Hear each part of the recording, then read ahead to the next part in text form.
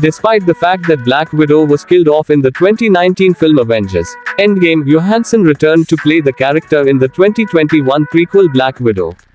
The Avengers actress acknowledged that the MCU is her last project, but she said that it was such a unique experience. Johansson said, I'm done. Chapter is over. I completed what I had to.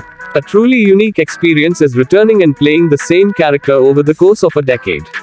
She has confirmed that she has no plans to return to the Marvel Cinematic Universe in the future.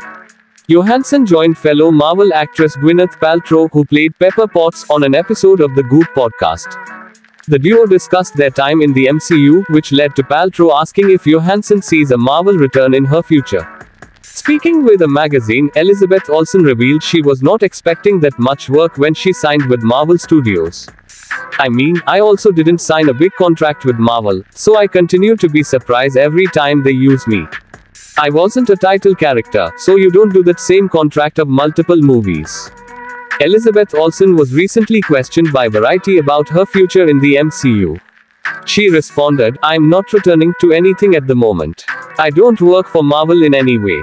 Nothing, and I'm not trying to be cheeky about it. They'll notify me when they'll do so.